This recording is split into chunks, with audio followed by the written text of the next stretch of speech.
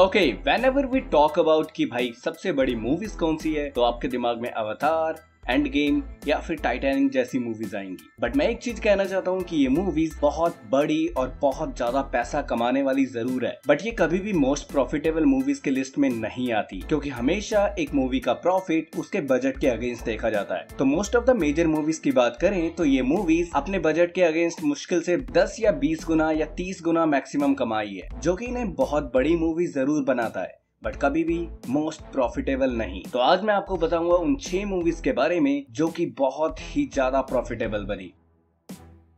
अपने लिस्ट की six movie है द इवल डेड 1981 वाली। यस yes, ये मूवी मैंने बचपन में सीडी रेंट पर लाकर देखी थी। यही कुछ आठ दस साल पहले। एंड जितना इस मूवी ने मुझे उस टाइम पे डराया मुझे लगता है आज भी अगर मैं ये मूवी देखूँ मुझे उतना ही हैरान करेगी। इस मूवी ने 1981 में 375,000 डॉलर्स के बजट पर इसके ऑलमोस्ट थर्टी टाइम यानी कि 14 डॉलर की कमाई की जो कि इसे दुनिया की कुछ सबसे प्रॉफिटेबल मूवीज़ में से एक बनाती है। जिसके साथ साथ ये मूवी पहला कदम था बहुत आइकॉनिक आइकॉनिक फ्रेंचाइज को बनाने में जिसे देखकर लोग आज भी डरते हैं।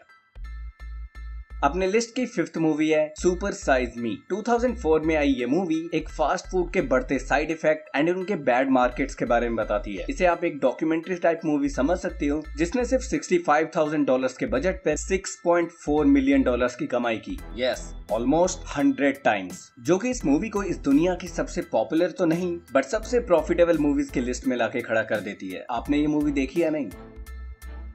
अपने लिस्ट की फोर्थ मूवी है हेलोविन 1978 वाली। ये उन कुछ मूवीज़ में से एक है जिसे मैं बहुत डेस्परेटली देखना चाहता हूँ बट अब तक देख नहीं पाया। बट मैं बता दूँ ये मूवी दुनिया के कुछ सबसे प्रॉफिटेबल मूवीज़ में से एक है क्योंकि इसने 325,000 डॉलर्स के बजट पर 33 मिलियन डॉलर्स की कमाई की मोर देन 100 टाइम्स का प्रॉफिट विच इज़ इनसेन हमारी लिस्ट की टॉप थ्री मूवीज़ की बात करें, उसमें थर्ड नंबर पे है फेसिंग द जाइंट्स 2006 की। ये मूवी अब तक मैंने तो नहीं देखी बट मेजरली ये मूवी फुटबॉल सेंट्रिक है। एंड इस मूवी की खास बात ये है कि मेजर कैरेक्टर्स के अलावा इसमें बहुत सारे वॉलेंटियर्स का काम किया गया। वो वॉलेंटियर्स जो की फुटबॉल में एक्सपर्ट्स है या फिर जिन्हें फुटबॉल देखना पसंद है, उनके लिए कोई भी एक्टर को चूज़ नहीं किया गया। यानी कि कुछ वॉलेंटियर्स जिन्हें पसंद है, उनको बुलाया एंड उन्हें बस इतना कह दिया कि भाई तुम टीवी पे आने वाले हो, तुम्हें लोग बड़े पर्दे पे देखेंगे, तुम थिएटर्स में दिखोगे, लोग इतने में मान गए एंड इस मूवी ने अपना बहुत बड़ा बजट बचा लिया। मतलब थोड़ा सा दिमाग लगाकर, इस मूवी ने हंड्रेड थाउज़ेंड डॉलर के बजट पे twenty four point six five million dollar की कमाई की विच मीन्स अपने बजट के अगेंस्ट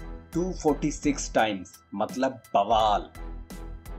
जिसके बाद इस लिस्ट की सेकंड मूवी की बात करें तो ये मेरी one of the favourite movies में से एक है, यानी कि रॉकी 1976 वाली। ये मूवी मैं सबको सजेस्ट करता हूँ। जिसे भी अपनी लाइफ में थोड़ा डिप्रेस फील हो रहा है, उसे लग रहा है उससे कुछ नहीं होगा तो मुझे लगता है उसे सिल्वेस्टर स्टेलॉन की रॉकी ज़रूर देखनी चाहिए। एंड इसे मैंने अपनी टॉप फेवरेट मूवीज़ के लिस्ट में भी मैंशन किया है। अगर आपने वो वीडियो नहीं देखी तो देखना ज़रूर। एंड जितनी पावरफुल ये मूवी है, उतनी पावरफुल इसने कमाई भी की। यानी कि वन मिलियन डॉलर्स के अगेंस्ट इसने 200 मिलियन डॉलर्स की कमाई की। मतलब अपने बजट पे 200 टाइम्स मतलब सोच रहे हो किस लेवल का बिज़नेस है ये? यहाँ 25 दिन में पैसा डबल नहीं होता। यहाँ कुछ दिनों में या कुछ महीनों के अंदर पैसा 200 गुना हो जाता है। इसलिए सिनेमा का बिज़नेस इतना ज़्यादा बड़ा है। एंड इस मूवी ने न सिर्फ़ हमें पावरफुल कॉर्ड्स या फिर मोटिवेशन वाली वीडियोस दी है, बल्कि हमें एक टूरिस्ट प्लेस भी दिया है। उसका नाम क्या है? अगर आपको पता है तो कमेंट बॉक्स में ज़रूर बताना।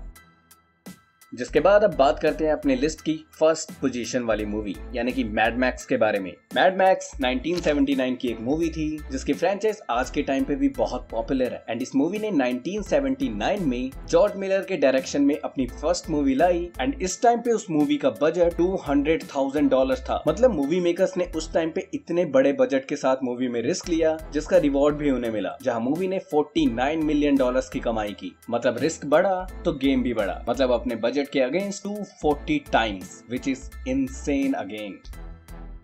तो गाइज़ ये थी कुछ मूवीज़ जो कि अपने टाइम में बहुत ज़्यादा प्रॉफिटेबल रही हैं। एंड मैं ये लिस्ट दिखाकर ये नहीं कहना चाहता कि जितनी भी बड़ी मूवीज़ आई हैं, वो बेफालतू की आई हैं। मेरा इस वीडियो को बनाने का मतलब सिर्फ़ इतना था कि मूवीज़ इंडस्ट्री कितना ज़्यादा इंसेन कमा सकती है इवन की छोटे बजट के साथ भी। And one more thing I know इस लिस्ट में बहुत सारे फ्लक्चुएशन होंगे, अगर मैं इन्फ्लेशन को जोड़ दूँ। एंड अगर आपको जानना है कि बड़े बड़े डायरेक्टर्स किस तरीके से सोचते हैं तो आपको मेरी playlist how directors think ज़रूर देखनी चाहिए, जिसके अलावा किसी और टॉपिक पे बात करने के लिए राइट वाली वीडियो पे क्लिक करें। मिलते हैं अपने किसी और वीडियो में। टाटा। Bye bye